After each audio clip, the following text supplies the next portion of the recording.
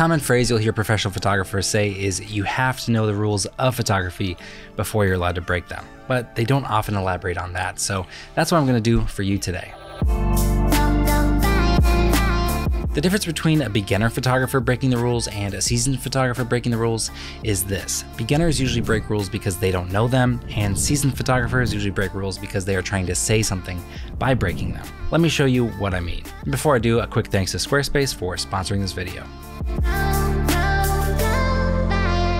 In these photos, there are several photography rules being broken, but none of them add to the story of the photo. It's simply displeasing to look at. The reason why photography rules exist in the first place is so that we can take photos that are aesthetically pleasing and that guide the viewer's eye to the most important part of the photo. Here, it just looks awkward and feels like a total disregard for 200 years of an established craft. A seasoned photographer who is great at breaking the rules is Ben Sasso. In this photo, there are again many rules being broken, but the photograph is still mesmerizing. The blur and framing add to the emotion of the photo and help to inject it with life. We aren't concerned that their feet are cut off and the focus isn't tack sharp.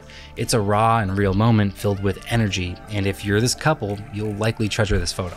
In this way, Ben has intention behind his photography rule breaking. It adds to the story rather than bucking it completely. So it's pretty easy to see the difference between beginners and seasoned photographers, but let's talk about how you personally can learn to break the rules like a seasoned photographer with these three tips. Framing is a big one and it's used in both photography and cinematography to evoke a certain emotional response out of the viewer. The tried and true rules for framing are these rule of thirds, headroom, looking room, and refraining from cutting off your subjects at the joints. The rule of thirds says that you need to place your subject in one of these four places of your image. The idea is that the photo is cut up into thirds and you never put your subject in the dead center or on the edge of the image. Headroom simply means you leave enough room above your subject's head so that you don't provoke the feeling of being trapped. Looking room means your subject needs about this much room to look towards the other side of the frame so that they again don't give the impression of being trapped. Cutting off the limbs at the joints creates the feeling that the limb doesn't carry on past the edge of the frame. It can also provoke tension because our brains subconsciously fill in the rest of the limb if we can see past that joint. If the framing cuts off the joints, we subconsciously think that the rest of the limb doesn't even exist. You can buck these rules if you have a good reason to though. For example, if you want to create tension in a photo, you can frame your subject in a bottom quadrant like is often employed by the show Mr. Robot. If you want to create the feeling that your subject is trapped, you can pin their face up to the edge of the frame like these shots from Bo Burnham's Inside. If you want to create a sense of balance and perfection, you can center compose your images like Wes Anderson does here, here, and here.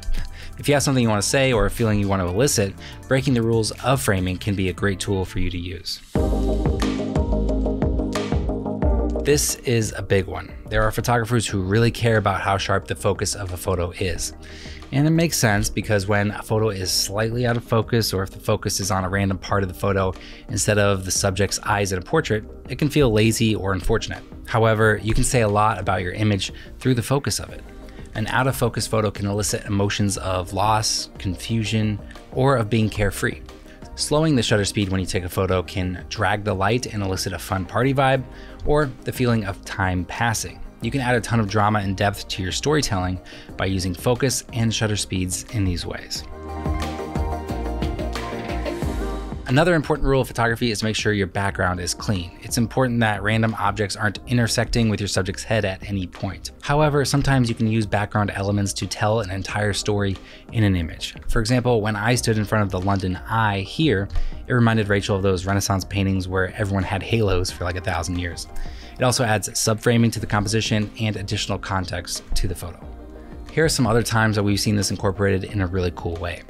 By adding or paying attention to these small details, you can create meaningful images that say something instead of just the same old thing everyone and their moms are posting on Instagram.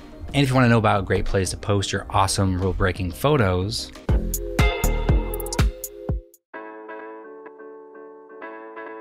Okay, ready? Now. Squarespace! All right, my first time making a website. I'm a little nervous, but I'm excited. Let's do this. I'm already done making my website. Are you surprised? I am. I'm really impressed with Squarespace's blogging tools. Yay. Whoa, they've got email campaigns? I'm totally gonna send one. That was totally worth it. Look at all this traffic overview. It's all right here. A year ago, I didn't think I could have my own beautiful website, but Squarespace made it so easy.